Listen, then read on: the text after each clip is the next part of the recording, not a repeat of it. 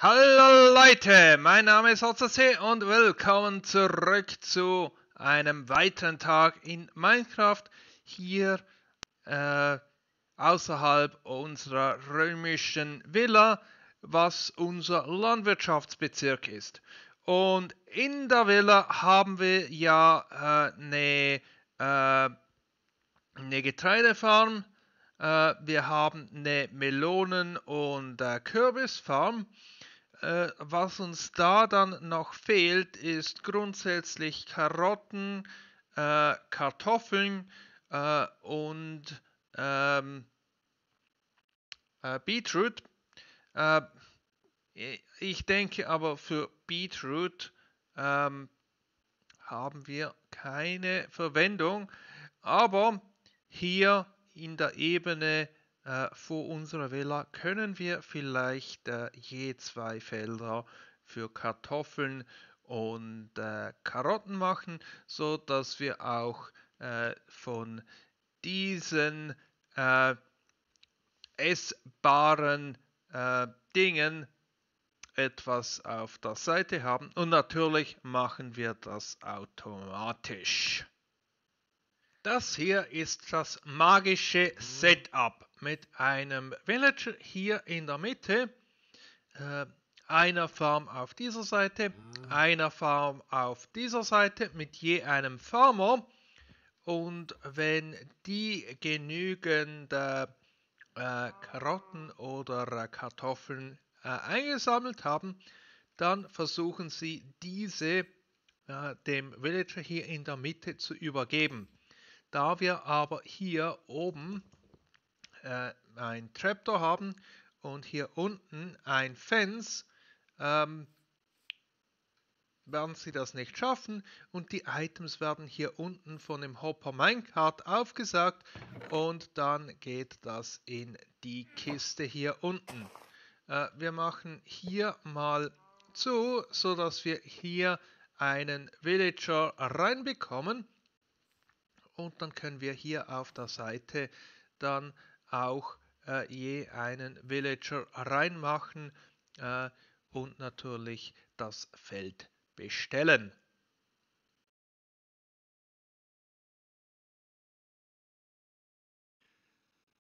Soweit hat das ja schon mal gut geklappt. Nun müssen wir den Villager nur noch hier rausbringen äh, aus dem Minecart, ohne ähm, dass er uns davonläuft. Äh, und das ist immer etwas, was manchmal gut funktioniert, manchmal nicht. Okay. Schauen wir mal, was wir erreichen können.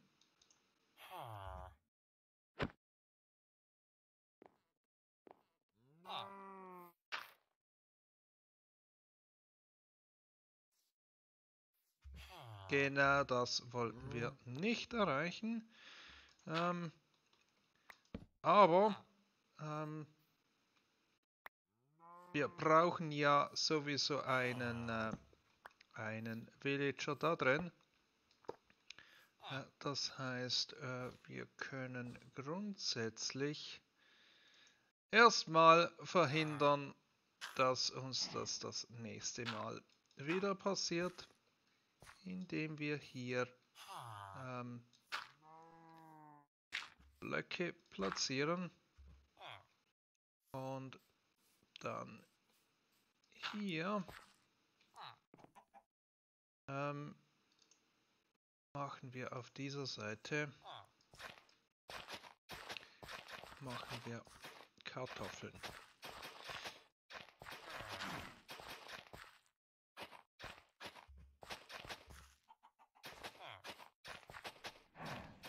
Dafür brauchen wir etwas Farmland.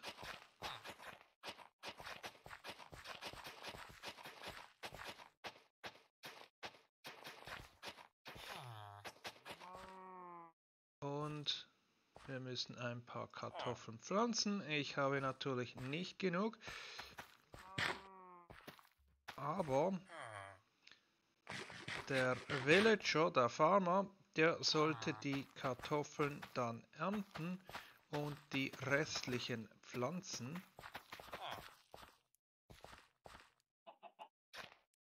Ähm, und dann sollte das gut sein. Hm. Vielleicht brauche ich ein paar, weil auf der anderen Seite da drüben, da wollen wir ja auch noch ein paar äh, Kartoffeln pflanzen. Gut, dann probieren wir das Ganze mit dem zweiten Villager auch nochmal. Gewusst wie und dann klappt es auch mit dem Villager. Und dieser hier äh, ist nicht wirklich das Problem, denn äh, untertags wird der Villager gleich zu einer Workstation laufen äh, und wir können hier äh, ohne Problem ähm, zumachen.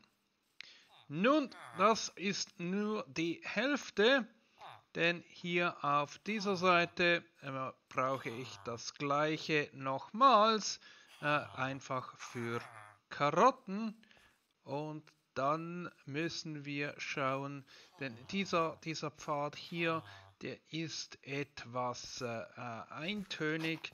Ähm, Mal schauen, ob wir da was Schöneres machen können. Die zweite Seite ist nun auch soweit, aber es wird noch ein Weilchen dauern, äh, bis wir hier Karotten und Kartoffeln produziert sehen. Äh, hier haben wir den Weg mit Stein und ich denke, ich werde den ein bisschen äh, erweitern und dann äh, in einen Weg übergehen, der eher so Brauntöne hat. Was wir hier auch äh, achten müssen, ist, dass unsere Villager nicht umkommen. Das heißt, das eine, eine, wir müssen sicherstellen, keine Zombies, die in der, in der Nähe spawnen, aber sie könnten auch vom Blitz getroffen werden. Äh, darum denke ich, macht es vielleicht Sinn, hier äh, in der äh, Umgebung äh, ein paar Blitzableiter aufzustellen. Ähm, so wie wir das ja auch schon bei unserem Kolosseum haben.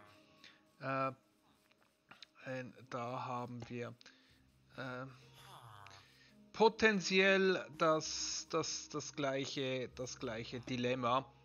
Und äh, wenn die weit genug weg sind, äh, dann sollte das überhaupt kein, kein Problem sein. Nun, ich glaube, hier brauchen wir nur äh, Slabs, Halbblöcke.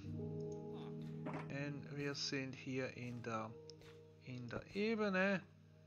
Ähm, und äh, dann schauen wir mal, was ich da zusammen bekomme. Und so sieht das Ergebnis aus. Hier vom Dach von unserer Villa äh, macht die Farm nicht einen wirklich großen äh, Eindruck, aber ich denke, äh, sie ist groß genug für das, was wir brauchen.